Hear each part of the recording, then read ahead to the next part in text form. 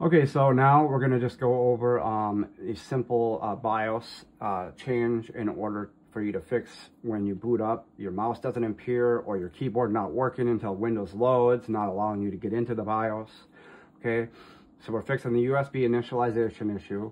That is um, with most all of these Gigabyte motherboards. I mean, uh, it's a real issue. Okay, so this is, you know, we'll correct that. All right, so we're gonna go to the settings. This is your screen. Once you're tapping delete and you get into your BIOS, you're going to go to the settings tab. Okay, then we're going to select the I.O. ports. Then we're going to find USB configuration down here.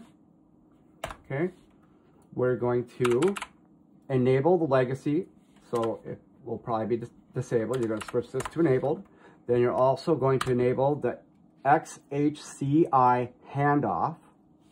Okay, then you're also going to disable the ERP if yours has the ERP option, okay?